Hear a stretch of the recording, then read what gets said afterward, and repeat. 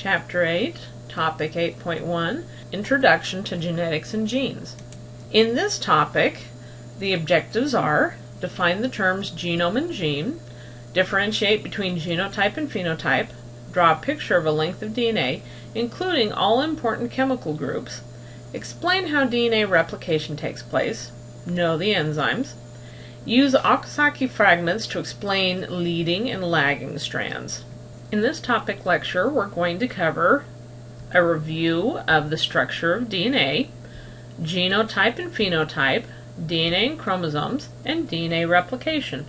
First, let's review the structure of nucleic, uh, nucleic acids and their monomers, nucleotides. Let's start with nucleotides. Now you'll remember this uh, diagram from chapter 2. Oh no, chapter 2! Yes, there's lots of chemistry in this chapter 2. But you'll see down here we have our sugar, ribose. It's a 5 carbon sugar. Okay. And over here we have a phosphate group. Remember, it's the phosphate group this that makes a nucleic acid, an acid. And then over here we have our nitrogenous base. We usually call this just a base, shorten it down. Now you hook these together and if we are using this diagram, um, these are the sugars and the phosphates, sugar phosphate, sugar phosphates hooked together. Okay, that's the backbone of the nucleic acid. Then the bases turn inward. Then we can get another strand of DNA and these bases are going to hold hands. And this is what creates the famous double helix. Now, here's something I want you to remember. A adenine always goes with thymine. A goes with T, G goes with C. This is always the case for DNA. So A is always going to match up with T, G is always going to match up with C. And this is part of how the cell can make exact duplicates of its DNA. We're going to talk about this more when we talk about DNA replication. Now let's talk about the difference between genotype and phenotype. Let's start with eukaryotic organisms, which you're more familiar with. In fact, if you've had Biology 201, we talked about Mendel's pea plants. That's why I have a picture of a pea flower here. So the genotype in eukaryotes are all the genes that are present in the cell. That is the genotype. The phenotype is what's expressed. Now, in eukaryotes, you have two copies of each gene, generally speaking. Fungi are different. But for most of them, you have two copies. And so you have a dominant and you have a recessive gene, and the dominant one is the one that's expressed. Well, in bacteria and archaea, they only have one copy of the of each gene. So we use the terms genotype and phenotype a little bit differently. Genotype are all the genes, same as with eukaryotes. Phenotype are the genes that are turned on, the genes that are currently being expressed. So let's talk about an example. Let's talk about the life cycle of E. coli in places where you don't have water treatment. So E. coli are happily living in your intestines and they're using their fimbriae to hold on to your intestinal cells. But those intestinal cells are constantly being shed, and E. coli leave in the feces. So eventually, those E. coli are going to make it into the local water supply. We're going to say that it uh, gets washed out of uh, the outhouse and down into the river. Now, E. coli don't particularly want to live in the river. They want to live in somebody's intestines. That's what they're built for. So they stop making fimbriae once they leave human intestines. They're floating along without fimbriae, just waiting to be drunk. And they once they're drunk, they don't produce fimbriae in your mouth. They don't want to stay in your mouth. They don't want to stay in your stomach. They start producing fimbriae once they enter the small intestine. Then they can grab a hold again. I hope that hasn't grossed you out too much. But you see the difference between genotype and phenotype. The coli that are swimming around in the river have the genes for fimbriae, but they're not turned on. So the phenotype is to not have fimbriae. Once they get into the human intestines, those genes are turned on, and the phenotype is for fimbriae. Now let's talk about chromosomes. Okay, in eukaryotes, chromosomes are linear. Okay, the purple lines are the sugar phosphate backbone, the red lines are the bases holding hands, and in most eukaryotes, fungi excluded, you have two copies, one from the mother, one from the father. In bacteria and archaea, most of the time the chromosomes are circular. You don't have ends. Now, this can be handy in certain circumstances, but we're not going to cover that in this class. But what you need to remember, most eukaryotes have linear chromosomes. Most prokaryotes have circular chromosomes.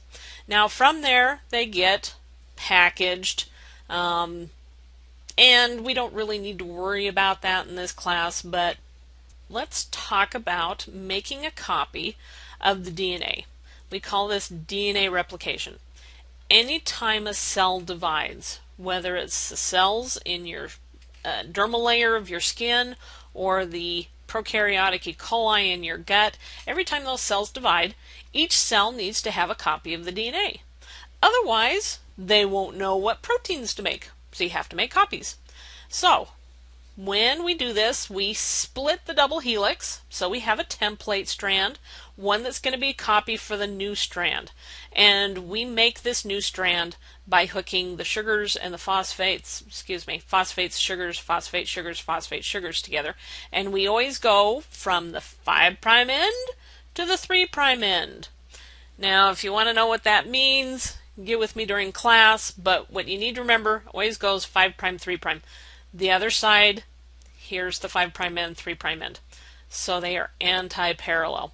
So what happens is DNA polymerase comes along and matches up the bases that go with each other.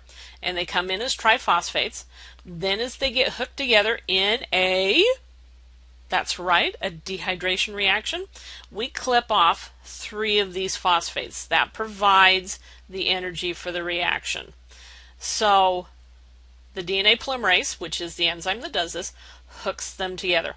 Then we have another one that comes in. So what's going to match with the C? That's right, we're going to have G matching with the C, and so on and so forth. Now let's expand out and see what's happening on the entire chromosome. Now, for me, it's easier to remember what's happening by remembering the he- the enzymes that are doing the jobs. So, the parental DNA is unwound, okay, by a helicase.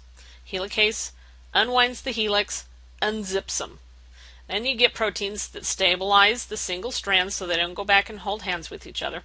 Now, DNA polymerase sets down and starts polymerizing the new strand like we talked about in the previous slide. But it can't get its mouth around a single strand. It can only get its mouth around a double strand. So, an RNA primer, we call it primase in this situation, it can get its mouth around a single strand. Doesn't care. So it makes a DNA RNA hybrid. Then the DNA polymerase can grab a hold and start polymerizing. Now, on the strand that's going 3' to 5'. It can go continuously. We call this the leading strand. On the other strand, the DNA polymerase keeps running in to new, to previous primers. As this gets unwound, primase comes up, makes an RNA primer, DNA polymerase attaches here, goes down, runs into the primer, falls off. So what happens is we call this the lagging strand and these segments of DNA are called Okazaki fragments. Now, we can't have an RNA DNA hybrid. It's not as stable as a DNA DNA strand. Another DNA polymerase comes through and replaces the RNA primer and replaces it with DNA. Then DNA ligase comes through, hooks the the the pieces together and we get one continuous strand. Now I'm going to show you an animation. And in the interest of uh, making sure that copyrights are are kept to. I got it from McGraw Hill, and this is the website where you can go to. And here comes the animation. The replication of DNA begins at a sequence of nucleotides called the origin of replication. Helicase unwinds the double-stranded DNA helix, and single-strand binding proteins react with the single-stranded regions of the DNA and stabilize it. DNA polymerase III is the major enzyme involved in DNA replication. DNA polymerase III can only add a nucleotide to the 3' end of a pre-existing chain of nucleotides, and it cannot initiate a nucleotide chain. Therefore, an RNA polymerase, called a primase, constructs an RNA primer, a sequence of about 10 nucleotides complementary to the parent DNA. DNA polymerase III can then add deoxyribonucleotides to synthesize the new complementary strand of DNA. Because the two parent strands of DNA are antiparallel, they are oriented in opposite directions and must therefore be elongated by different mechanisms. The leading strand elongates toward the replication fork by adding nucleotides continuously to its growing 3' end. In contrast, the lagging strand, which elongates away from the replication fork, is synthesized discontinuously as a series of short segments called Okazaki fragments. When the DNA polymerase III reaches the RNA primer on the lagging strand, it is replaced by DNA polymerase I, which removes the RNA and replaces it with DNA. DNA ligase then attaches and forms phosphodiester bonds. The DNA is further unwound, new primers are made, and DNA polymerase III jumps ahead to begin synthesizing another Okazaki fragment.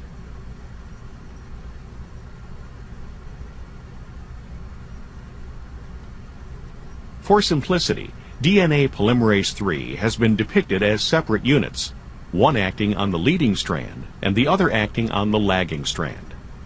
The current view of DNA polymerase III is that the two subunits function together with the DNA on the lagging strand, folding to allow the dimeric DNA polymerase molecule to replicate both strands of the parental DNA duplex simultaneously proteins other than DNA polymerase III are not shown.